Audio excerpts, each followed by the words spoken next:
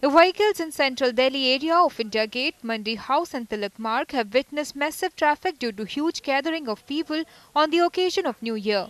More than 1 lakh people gathered at the India Gate to celebrate the occasion. Large number of people flocked temples, gurudwaras to seek blessings.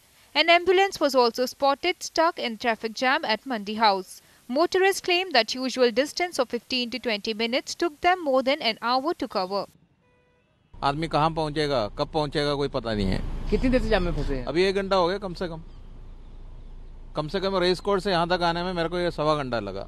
Normally कितनी देर का time normally बीस minute में पहुँच जाते हैं लोग। It's been almost two hours हम लोग जनकपुरी से ट्रैवल कर रहे हैं और अभी तक मयूर विहार जा रहे हैं अभी तक पहुँच नहीं पाए and it's really the terrible traffic is terrible बहुत सारे ट्रैफ़िक हो रहा है? बहुत ज़्यादा बहुत परेशानी हो रही है। दो घंटे से ड्राइव कर रहा हूँ मैं। यूजुअली पैंतालीस मिनट लगते हैं, आज दो घंटे से ऊपर हो गया, हम पहुँच ही नहीं पाए